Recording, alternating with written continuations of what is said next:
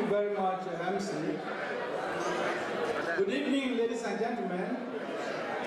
I know you are itching to, to dance, but please, I want to crave your indulgence. Give us just a few minutes. Uh, what we're about to do now, in my view, is serious and it is solemn. It is important. Uh,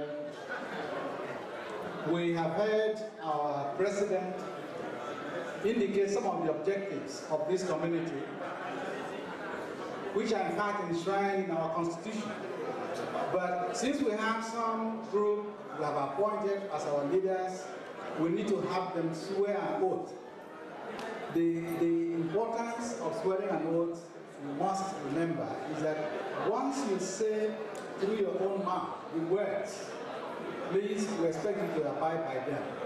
Now, before we do the main swearing, I would like each one to very quickly tell us what post you are holding in the executive. Uh, my name is Eric Carlo Adegibe. My post is PRO, Public Relations Officer. My name is Mrs. Irebu Chinye, and my office is a vice president. I am Chris Adizir. I'm the social organizer with her. I'm Mrs. Obonna. I'm Assistant Financial Secretary. Chief Emmanuel Ntukunye, the Abia Community Chairman. Jokes Emenike KK, I'm the treasurer. Sunday Okori, I'm the secretary. Magister Dr. Obonna, representing the floor members. I am also a floor member.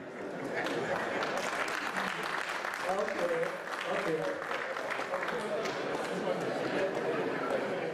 You would have to indicate your name first, and then the office you are holding as I read out this, and please say the same words. You understand what I'm saying?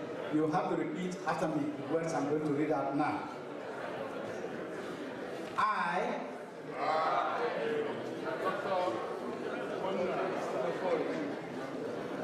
do hereby swear that I shall execute the office of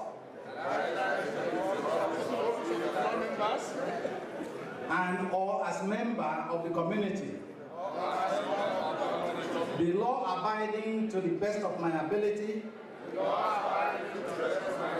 and discharge the responsibilities of the office or and or membership in the best interest of the community.